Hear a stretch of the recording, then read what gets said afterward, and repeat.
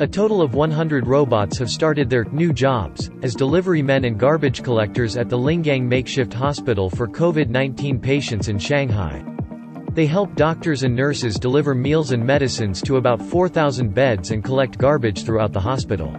The deployment of robots can avoid close contact between the medical workers and the patients, and reduce the workload of medical workers. The delivery robot has multiple cabinets and can hold up to 20 boxes of meals at once.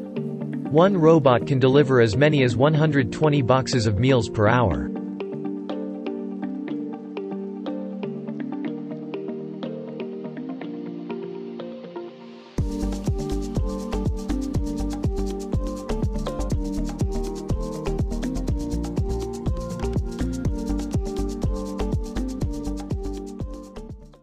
There are three types of robots deployed.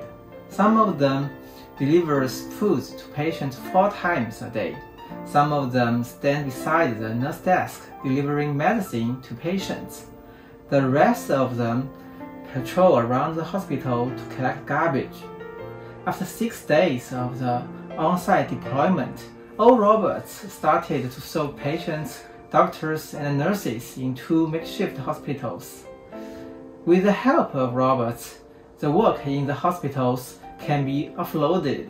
We wish our work could help improve the service quality of the hospital and help doctors and nurses cure patients better.